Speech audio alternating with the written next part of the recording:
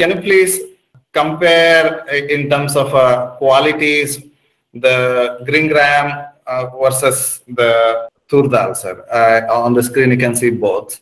almost these um, uh, tur dal or even the chanakar that is chana dal or it may be even the mudga all of them are very closely placed most of them are stringent uh, too sweet in taste potency is cold to hot something like that but thing is that one which is most laghu and easily digestible is mudga that is the reason they are kept it as comparatively at a higher rate i mean somewhat better placed but when compared to the taste part of it, mudga is somewhat uh, madhura rasa pradhana, whereas adaki is kashaya rasa pradhana. Because of that reason, maybe uh, one we end up with uh, katu vipaka, but the other one is may not be in that fashion. So similarly, helps in digestion. That is a one important thing. One which a protein, a comparatively a guru in nature, but a protein gets digested easily means that is always the best. So maybe because of that reason, Acharyas have kept Mudga at the top rather than the Turdal or Adaki.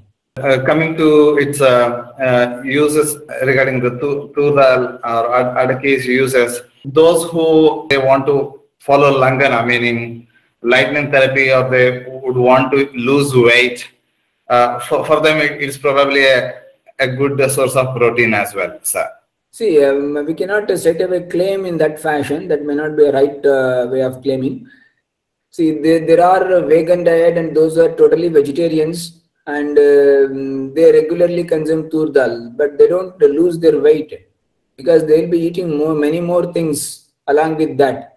So it may not be helping in Langhana therapy. So Langhana and Brimhana usually associated with richness of the, mm, the drug or the diet what we consume along with the quantity, rashi, how much we consume.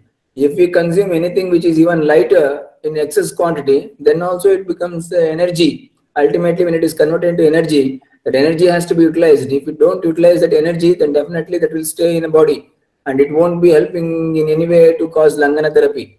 So in the way of uh, Langhana therapy, it doesn't mean that uh, if you consume, you will become uh, thinner and you lose your body mass. No, it's not like that. We can say that when comparatively one person who is on a meat diet and one who is taking much guru ahara comparatively, to that it is lighter in nature. Even though it is a protein, but it is from the uh, vegetable origin. So because of that reason, it is comparably lighter or laghu uh, compared to the proteins from the animal origin. That we can say.